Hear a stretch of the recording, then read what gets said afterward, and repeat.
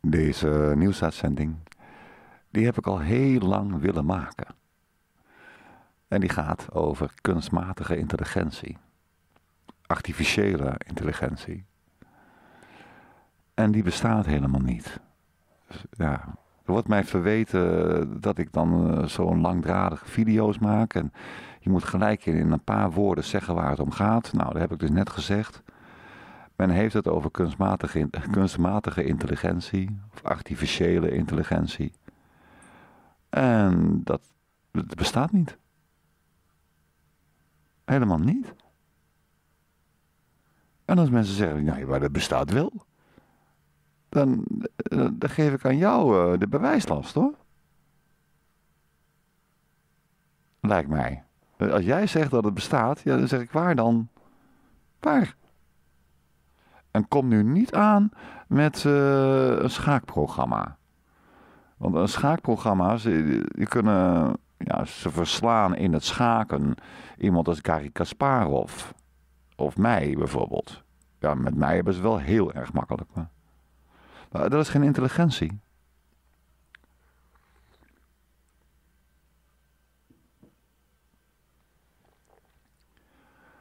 Door het aantal mogelijke stellingen op een schaakbord is eindig.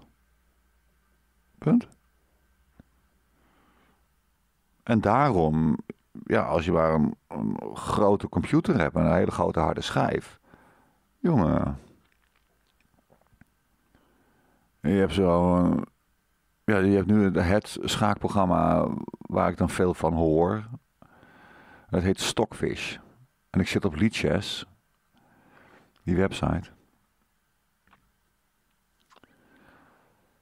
En ja, die werken ook met Stockfish.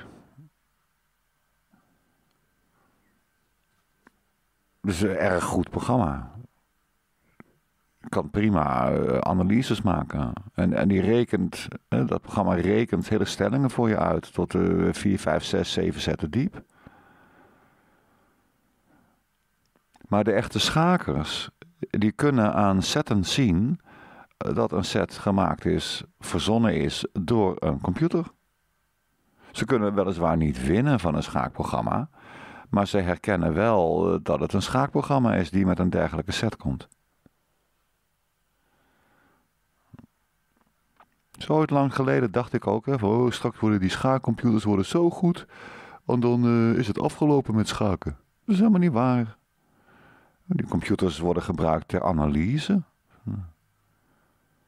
Je kan zeggen dat door, dat, doordat mensen schaakanalyses gebruiken, dat hun schaakkwaliteit verbeterd is. Dat kan je stellen. Dus het heeft alleen maar geholpen. Maar een schaakprogramma heeft niks te maken met intelligentie.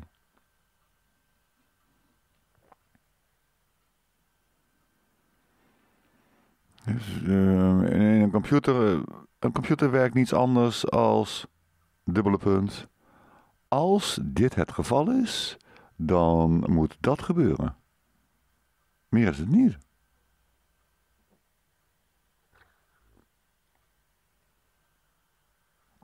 En dan heel veel uh, regeltjes. Als dit, dan dat. Als zus, dan zo. Regeltje, regeltje, regeltje. Dan hoofdregels en subregels en sub-subregels. En het is niets meer dan een opeensomming van regels. En die regels worden toegepast op een situatie. En dan komt daar x uit, of y. En die uitkomst die kan jou heel erg verbazen. Dat je denkt van wauw, dat wist ik niet. Nee. Ja, als je je afvraagt hoeveel is 13.187 gedeeld door uh, 18,39578. Ja, daar ben jij wel eventjes op aan het rekenen, mag ik aannemen. Een rekenmachine heeft dat zo voor je uitgerekend. Dan zeg je, oh, maar dat wist ik niet. Oh, dat wil heel erg snel. Ja, zo werkt een rekenmachine. Maar een rekenmachine is niet intelligent.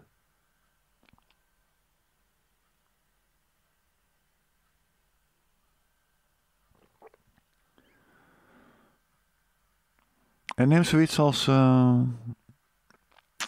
Het, met die, die spelletjes toestanden, met, met schaken, dat, ja, dat zijn hele goede schaakprogramma's. En het is voor een mens echt heel moeilijk om te winnen van een programma zoals Stockfish. Dat, dat is gewoon niet leuk.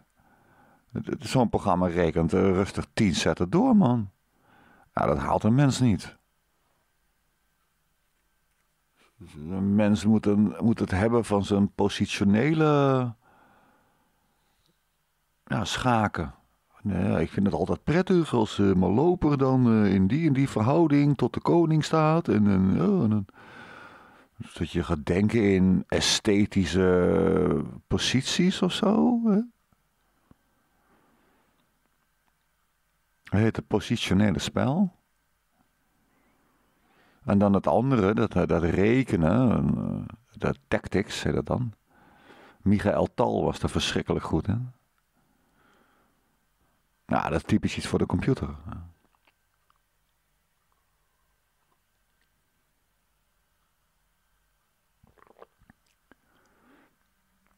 Maar neem nou een ander uh, spel. Cryptogrammen. Bij Café de Wacht uh, werden die gespeeld. Het cryptogrammenspel. In de, in, de, in de vorm van een spel. Dat, in de krant stond er dan eerst een cryptogram. En dan was er een iemand en nou, Sander die achter de bar stond en die pakte een pen en die krant die werd dus eventjes uh, netjes gevouwen en dan ging Sander zitten puzzelen en die schreef dan één oplossing op. En dan geeft hij de pen en dat stuk krant aan de eerste die mee deed aan de bar. Nou, die, en je mocht maar één woord invullen, dat was het spel. Ook al wist je er twee, je mocht er maar één invullen. En nadat je hem ingevuld had, moest je hem doorgeven aan de buurman. Uiteindelijk kwam hij dan weer terug bij Sander. En ja, als je er niks weet, dan moet je hem doorgeven. Dat was het cryptogrammenspel. Nou, daar kan een computer niet aan meedoen. Dat kun je lekker vergeten. Een kruiswoordraadsel, daar zou een computer helemaal geen moeite mee hebben. Je, neemt de, dikke van Dalen, die is al lang digitaal. Dan heb je alle, alle, alle Nederlandse woorden. Nou, dan heb je natuurlijk nog de omschrijving. Maar... Nou... Nou, met een kruiswoordraadsel komt de computer een heel eind, denk ik.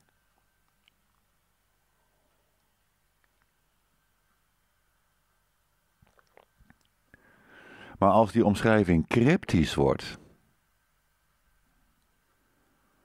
Ja, uh, ja. daar kan een computer niet, niet doorheen. Dit, is niet te programmeren. Ik zou, niet, ik zou als programmeur niet weten waar ik moest beginnen. Bij een kruiswoordraadsel, waarbij het verschil tussen een cryptogram en een kruiswoordraadsel is, waarbij een kruiswoordraadsel het puur gaat om een, een synoniem. Uh, bijvoorbeeld uh, honingwijn. Drank gemaakt van honing of zo. Alcoholhoudende drank gemaakt van honing. Dat is mede. Ook wel mee. M-E-E. Mee of mede. Nou, dat is honingwijn. Zo heet het ook wel. Dat is een, een, synoniem heet dat. Ja, dat zijn kruiswoordraadsels. Dus de omschrijving van het woord is een letterlijke verwijzing maar bij een cryptogram is het een cryptische verwijzing.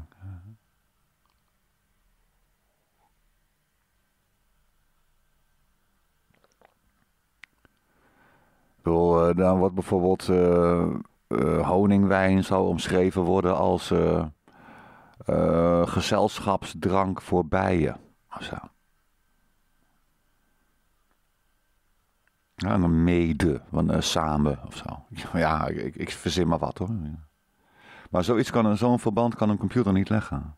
Dat kan je als programmeur niet programmeren. Dan kom je hopeloos in de knoei.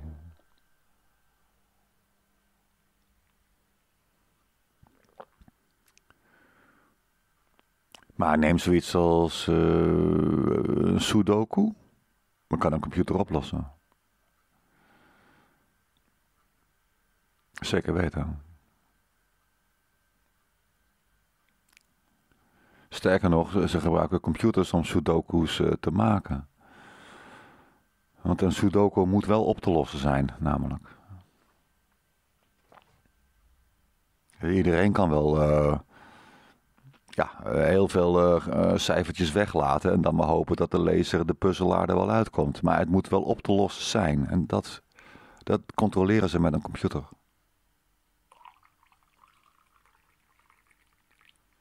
Want dat is geen artificiële intelligentie.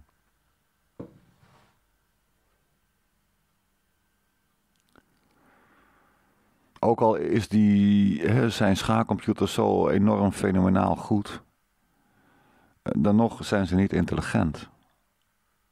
Dat is niet wat intelligentie is.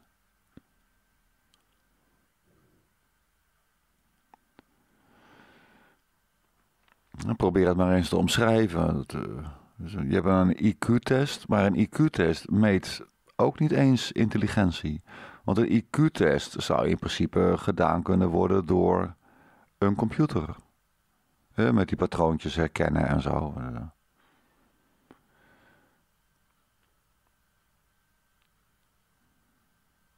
Daar zou je een computer voor kunnen programmeren.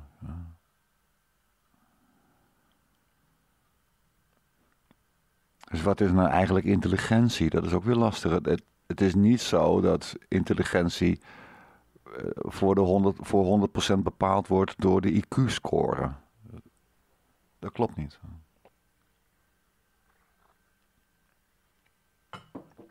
Zeggen de mensen van die IQ zelf ook hoor.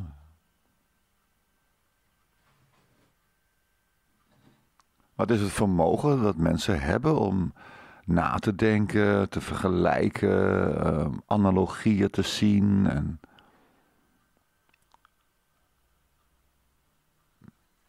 nou, iets nieuws te verzinnen. De computers kunnen dat helemaal niet. En wat computers wel kunnen doen is dat ze, dat is ook gedaan, eh, dat ze, dat computers, dat er een computerprogramma is dat een computerprogramma schrijft en dat doet het helemaal zelfstandig. Maar hoe ze dat doen, dat is vrij flauw, is dat ze een at random, dus met een toevalsgenerator, produceren ze dan programma's en die slaan op zich ja, 9,99999% van, de, van die programma's die doen het helemaal niet.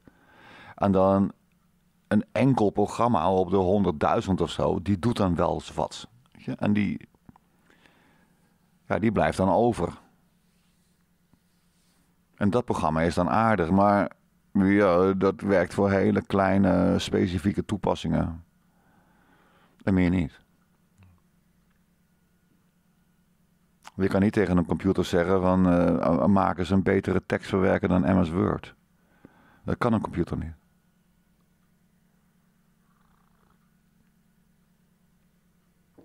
Een mens wel.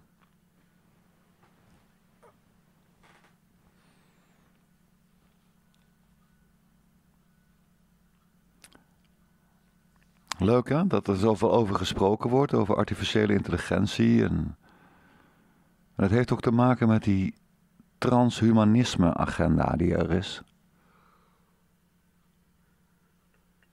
Waarin men fantaseert over dat we uh, een chip in ons hoofd krijgen en, en die gaat voor ons denken of zo. Dat slaat helemaal nergens op. Door die chip die we dan in ons hoofd krijgen, ja, die kan jou in ieder geval als mens dus niet helpen met het oplossen van een cryptogram.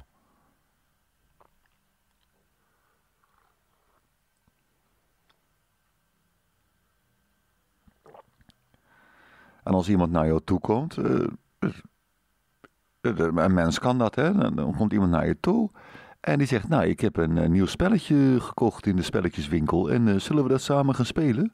En dan lees je even de spelhandleiding en dan denk je, oh wat een leuk spelletje. Nou, laten we maar gaan spelen.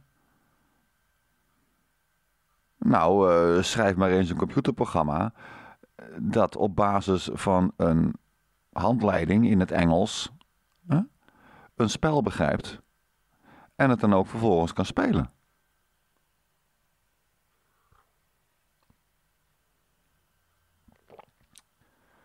Dat gaat je nog even hier. Dat, eh, dat wordt echt heel moeilijk. Eh, Dat kan helemaal niet. Dat snap ik heel goed hoor, dat er mensen zijn die zeggen: ja, eh, het kan nu nog niet, maar straks misschien wel.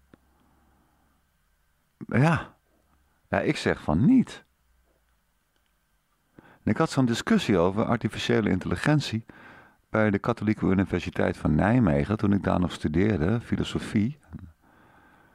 En metafysica en logica en taalfilosofie. En daar zaten echt hele slimme mensen. En op een middag uh, heb je daar zo'n leuk pleintje bij dat Erasmusgebouw. En daar is dan iets van een kantine of een bar is het eigenlijk. Een leuke tent hoor. Met een terras en zo. Lekker met een biertje. Toch met de bus naar huis. Dus kunnen we er wel vijf drinken. Nee, zoveel dronk ik dan niet. Maar, maar dan kon je wel twee of drie drinken. drinken. Toch met de bus. Hè?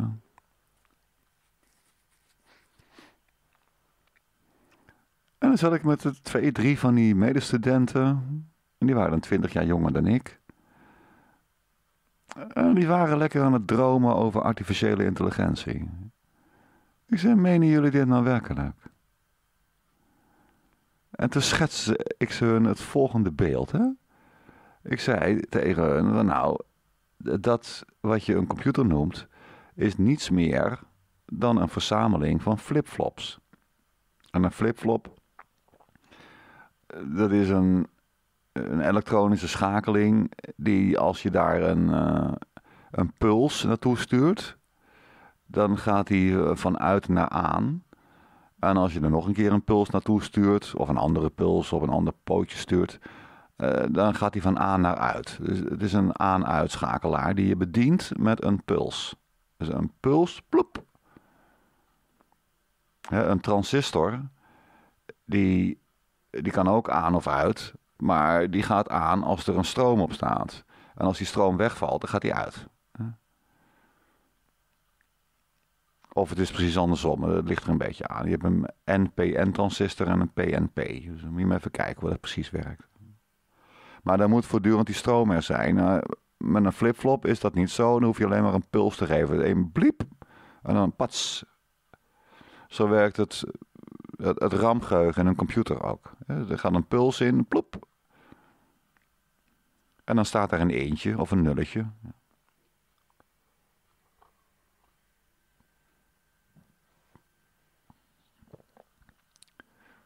nou, ik zeg, dat, dat wat wij een flipflop noemen, dat kan je namaken met Lego. Dat is echt serieus.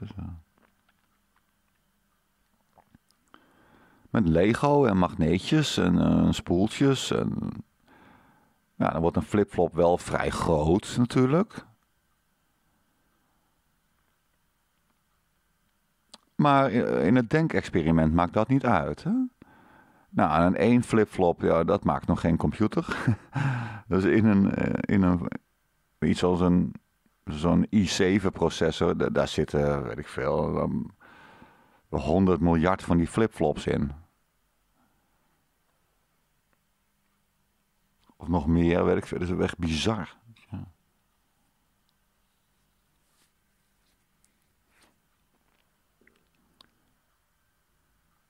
En dan moet je dat allemaal nabouwen in Lego. Ja, dat gaat natuurlijk niet. Op deze wereld heb je waarschijnlijk niet genoeg Lego om dat allemaal eh, te, produceren. Om er maar te zwijgen over dan uh, die Lego computer in elkaar te zetten. En dat je andere problemen krijgt, namelijk van uh, ja, waar, waar ga je het laten? Hè? Waar ga je het bouwen? Misschien is de Gobi-woestijn wel niet groot genoeg. Hè? Maar los daarvan, hè? in het denkexperiment kan alles. En dan vroeg ik aan die jongens, dan heb je die hele grote bak met Lego. En denk je dat die bak met Lego dan intelligent kan zijn? En toen keken ze mij zo aan met z'n drieën. En je zag echt zo uh, dat ze heel langzaam zagrijnig werden. Want ze konden zich dat niet voorstellen. Nee, natuurlijk niet. Want een bak Lego is niet intelligent. Daar kan je wel voorwaarden in stoppen van als dit, dan dat, dan zus, dan zo. En de klikken, de klakken, de klikken, de klak. Dat, is niet intelligent.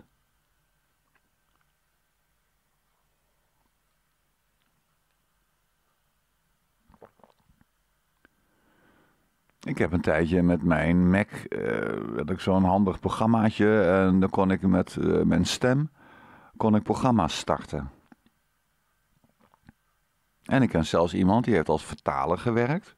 Die is nou overleden. En die sprak zijn, uh, zijn werk, zeg maar, uh, wat hij dus vertaalde. Hij vertaalde uit Engels naar Nederlands. Dat sprak hij in het Nederlands in, in een microfoontje in de computer. Hij zat het niet uit te typen. En die computer die typte alles netjes. Die, die zette zijn gesproken woord om in leesbare tekst.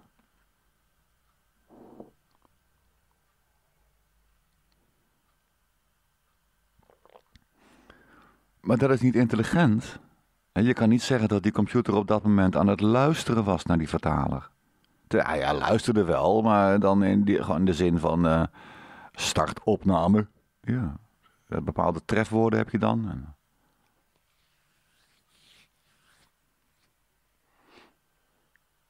Ja, dan ging hij typen. Ja.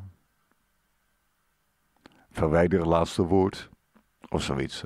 Van commando's kan je ook nog erbij doen.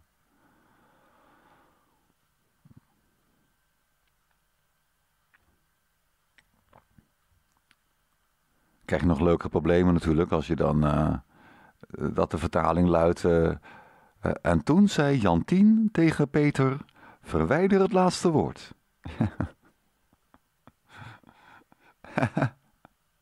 en dan gaat die computer natuurlijk het laatste woord uh, verwijderen. Toen zei Jantien tegen Peter en dan verwijderen het laatste woord. En dan gaat het, toen zei Jantien tegen. En dan niks, want Peter is weggehaald. ja, dat doet zo'n computer dan. Kunstmatige intelligentie. Kunstmatige intelligentie bestaat niet. En het transhumanisme daarmee is, uh, ja, ja, geouwe hoer in de ruimte. Gewoon geklets. Een fantasie.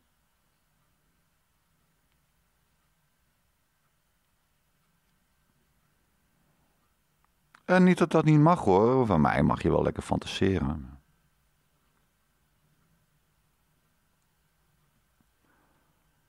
Maar wat mij tegen de borst stuit is dat die fantasieën, dat die dan in de Volkskrant van zaterdag, in de wetenschapsbijlagen, dat die aan het volk worden verkocht als zijnde iets wat echt mogelijk gaat uh, gebeuren. En ik je houdt er toch mee op, dat moet je niet doen. Dat vind ik het opzettelijk verspreiden van ja, waninformatie. Dat vind ik absoluut oneerlijk.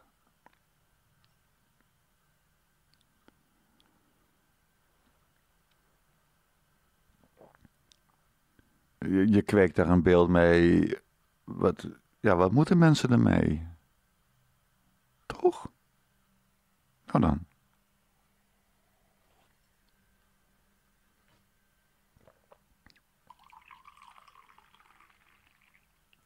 Heel intelligent neem ik nu even weer een slokje thee.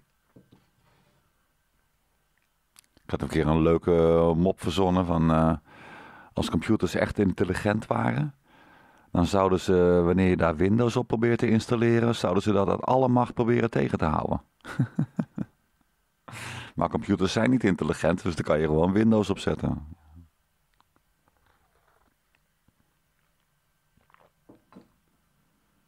Misschien dat Windows tegenwoordig wat beter is hoor, dan toen. Maar trouwens, macOS is ook niet alles. Eh, daar ben ik ook wel achter. Unix, dat is nog wel lekker. Linux vind ik wel tof.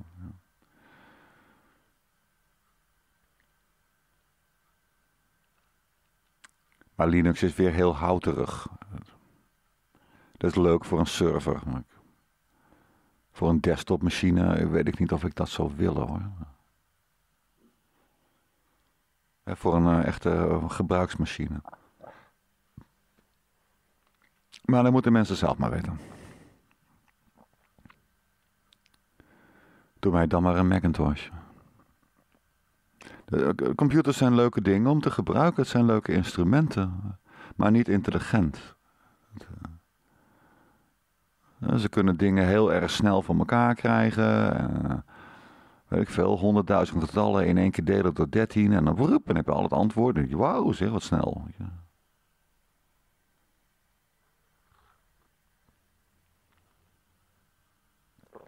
Maar daar heb je het mee gehad en dat is geen intelligentie. Punt. Het is indrukwekkend, meer niet. Je hebt nou uh, bij Facebook en zo, heb je gezichtsherkenning. Dus, uh, dat is dan wel leuk. Als je een foto van mij uploadt, dan staat er gelijk onder. Ja, dit, dit, dit hoofd is van Perry Winkel. Nou, ze weten inmiddels hoe ik eruit zie. Maar er is niks intelligents aan. Ieder mens heeft een, bepaald, uh, ja, een bepaald gezicht, een bepaalde afstand tussen zijn ogen en de verhouding van het puntje van je neus tot aan het. Nou ja, ga maar door.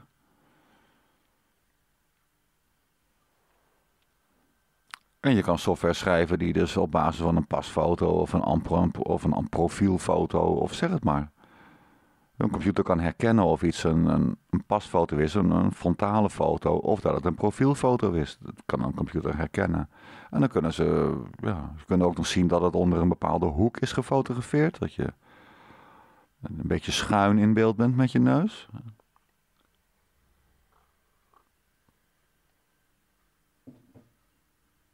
En dan zeggen ze, hé, hey, dat is Tante Gerda.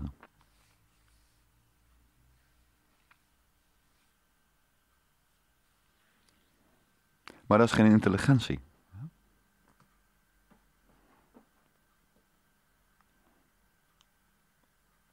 En dat wil niet zeggen dat, het dan allemaal, eh, dat je er geen ruimte meer zou hebben om te kunnen dromen over hoe het zou kunnen zijn. En, en dat zou misschien nog wel uh, misschien nog heel anders kunnen lopen dan dat wij denken. Maar voorlopig niet.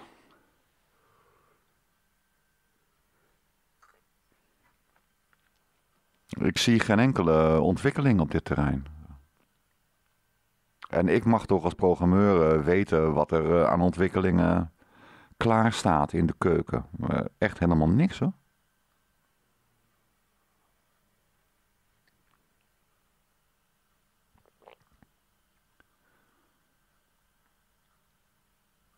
Ik, heb al, ik ben dan naar een congres geweest ooit in, waar die kerncentrale staat, in Mol, in België. Het ging over artificiële intelligentie. Ik denk, nou, wel toch een keer weten waar ze het over hebben. Nou, flinterdun was dat.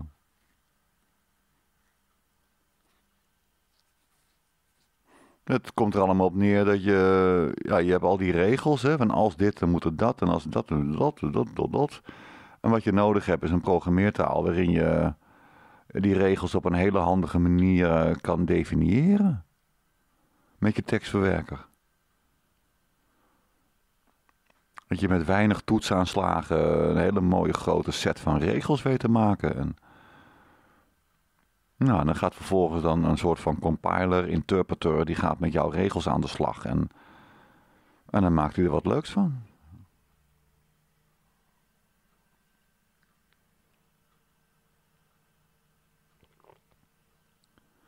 Maar dat zegt verder helemaal niks. Dat is ook al uitgeprobeerd. Hè? Dat, je hebt van die discussiegroepen op internet. Hè? Van die forums. ze hebben al computerprogramma's geschreven. Die doen zich voort voor als een mens. En die zijn niet van echt te onderscheiden.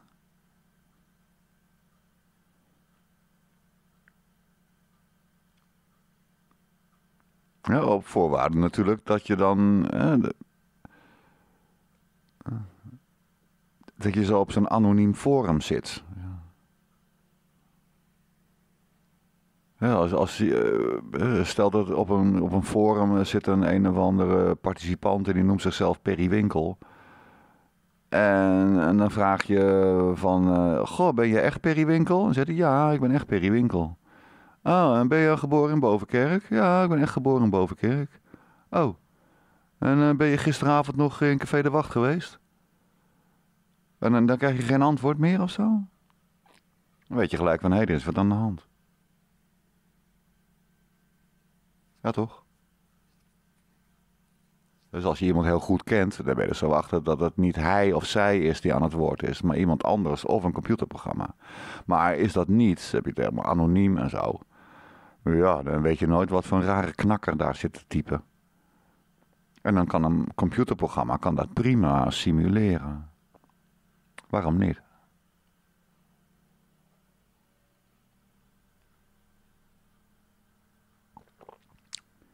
Dat kan allemaal wel. Maar het is geen kunstmatige, kunstmatige intelligentie.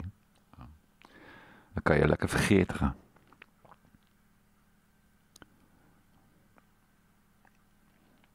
Maar op de hele lange, lange, lange termijn. Eh. Je hebt dat boek hè, van Frank Tipler, Fysica der Onsterfelijkheid. Ik heb het ooit uitgeleend en dat moet je niet doen met boeken. en daar gebeurde het onvermijdelijke mee, namelijk dat ik het kwijt ben geraakt. ja. Ik kan het nog een keer opnieuw aanschaffen. Het is niet zo heel duur. Je kan het zo kopen via bol.com. Van Frank Tipler. Nou, die heeft het erover. Ja, dan heeft hij het over. Zijn boek begint als de aarde voorbij is. Dus hij maakt gebruik van het feit dat er in de astronomie wordt gezegd dat onze zon over 5 miljard jaar gaat die groeien. En dan krijgen we echt global warming hoor. Dan stijgt de mondiale temperatuur met uh, eh, 3000 graden Celsius. Ja, dan is het hier afgelopen.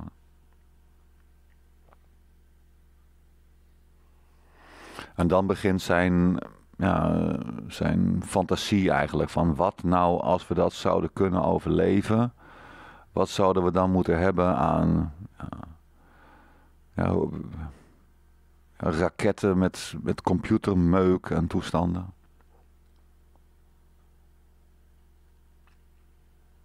En dan weet hij niet eh, hoe je dat zou moeten regelen, maar dan gaat hij ervan uit dat we wat weten te regelen. En dan komt hij van het een en het ander. Dat is wel leuk. Dat is wel een leuke denkexercitie.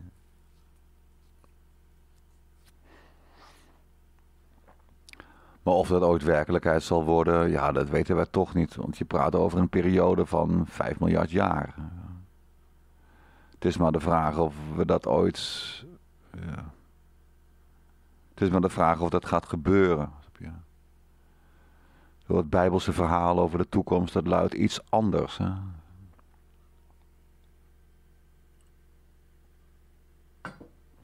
Dat je het even weet. Nou, ik hoop dat ik jullie wat geleerd heb over artificiële intelligentie, namelijk dat het helemaal niet bestaat. Ik hoop dat ik voldoende voorbeelden heb gegeven. Dat ik het voldoende ontkracht heb. Dat transhumanisme, dat computers alles over gaan nemen en la. Nou, daar hoef je niet bang voor te zijn. er is nog nooit een computer uitgevonden die toiletten schoonmaakt, om maar wat te zeggen. Of een robot die dat doet. nee. Het enige wat er is, dat, zijn van die stofzuigerapparaatjes. Maar daar zit niet een al te grote stofzuigerzak in, moet ik zeggen. Zo'n ding te groter van een uh, fors uitgegroeide schildpad. En dat schuift dan een beetje door je woonkamer heen. En ja, die schijnt ook nog bij low battery uh, dat hij dan weer terug naar een stopcontact kan en dat hij zich dan zichzelf weer oplaadt. Dat, dat is wel grappig. Want dat kan wel. Je kan contactloos kan je elektriciteit overstralen. Tuurlijk kan dat.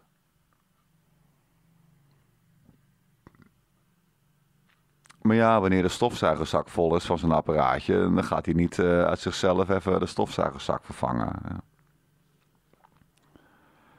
Dus is zo'n ding dan intelligent, zo'n automatische stofzuigingsmachine? nou, niet echte. Nou, toiletten schoonmaken kunnen computers niet. dat je tegen een computer zegt van... Uh, Ja, ik heb vandaag geen zin om te koken, maar kan jij niet even wat maken? Dat die computer zegt, oh dat is goed hoor, wat mag ik uitgeven? En wil je iets met vlees, met vis of vegetarisch? Dat je dan zegt, nou, eh, liefste vegetarisch. Maar uh, bekijk maar even in de supermarkt of er uh, wel lekkere groenten zijn, of het te betalen is. En als het niet te betalen is, dan, dan toch maar vlees. Of zo, hè? Nee, dat kan een computer helemaal niet, man. Mensen wel. Want mensen zijn intelligent. Tot op zekere hoogte natuurlijk, maar mensen zijn intelligent. Computers niet. Die zijn dan gewoon apparaten. Automata's. Meer niet. Je zegt er ook niet van een koffieautomaat van, oh, wat is die slim zeg. Ik, eh, ik druk op wat knopjes en ik doe er wat geld in en dan komt er precies een cappuccino uit zoals ik gewenst had. Met extra suiker. Ja, dat heb ik dan zelf ingedrukt. er is niks intelligents aan. Ja. En zo werkt artificiële intelligentie ook. Alleen maar heel erg veel schakelaartjes. Als dit, dan dat en zus en zo en zo. En, zo. en dan komt die computer met het antwoord van het paard moet naar G5. En denk je, wauw, wat een set. Die had ik zelf nooit verzonnen. Nee. En daar is het ook een schaakprogramma voor. En die heeft dat ook niet verzonnen. Dat volgt gewoon dat die situatie, die levert dan qua telling, qua score, de meeste scorepunten op. Klaar.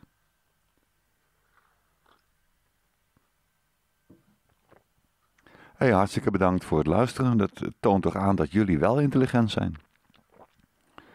Dat je zo lang wil luisteren. Of, of juist niet natuurlijk. Dat je denkt van jeukje zeg, als je al die tijd naar Perry luistert. Nou, dat is wel een teken dat je niet intelligent bent. Maar in elk geval, je bent geen computer. Want een computer zou niet naar mij luisteren. Waarom zou die? Die weet niet eens uh, wie ik ben. Huh? Die zit een beetje te wachten op zijn nieuwe update van uh, Windows International. Of zo. en tegen jullie intelligente mensen zeg ik op zijn hamburgers: Tjus en dag lieverds.